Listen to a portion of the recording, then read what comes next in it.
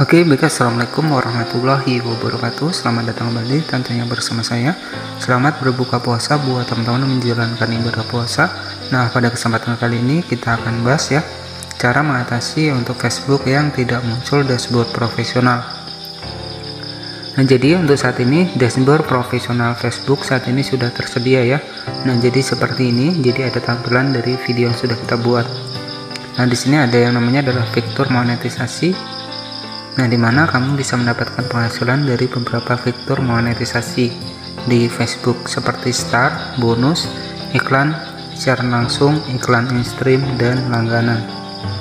Nah, bagaimana cara mengatasi ketika Facebook kita tidak muncul uh, dashboard profesional? Nah, langkah yang pertama, silahkan teman-teman bisa langsung saja masuk ke Play Store. Nah, kemudian teman-teman tinggal masuk saja, ketikkan saja Facebook ya. Nah, di sini teman-teman bisa menggunakan Facebook seluler. Oke, jadi teman-teman tinggal klik saja di bagian update. Jadi agar untuk Facebook kita juga muncul mode profesional.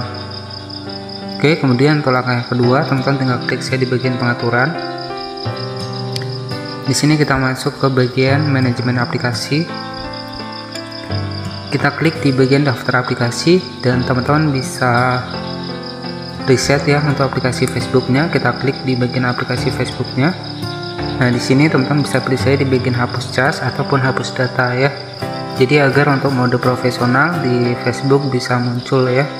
Dan setelah terupdate kemudian setelah kita reset untuk Facebooknya teman-teman tinggal masuk lagi ke dalam aplikasi Facebooknya. Dan jadi pastikan teman-teman sudah di versi yang terbaru ya untuk Facebooknya agar untuk uh, dashboard profesional kita di Facebook bisa muncul. Nah jadi tinggal kita update seperti ini. Setelah selesai nanti teman-teman tinggal klik saja di bagian buka. Nah kemudian tinggal kita klik di bagian profil kemudian kita klik di bagian titik tiga di sebelah kanan. Nah di sini ada mode profesional. Jadi teman-teman silahkan diaktifkan saja untuk mode profesional setelah Facebook kita diperbarui. Oke, jadi cukup seperti itu saja untuk cara memunculkan dashboard profesional ataupun mode profesional di Facebook. Dan semoga informasi ini bermanfaat. Jangan lupa buat klik tombol subscribe dan aktifkan lonceng notifikasinya agar kamu tidak ketinggalan informasi terbaru dari channel ini. Oke, selamat malam dan wassalamualaikum warahmatullahi wabarakatuh.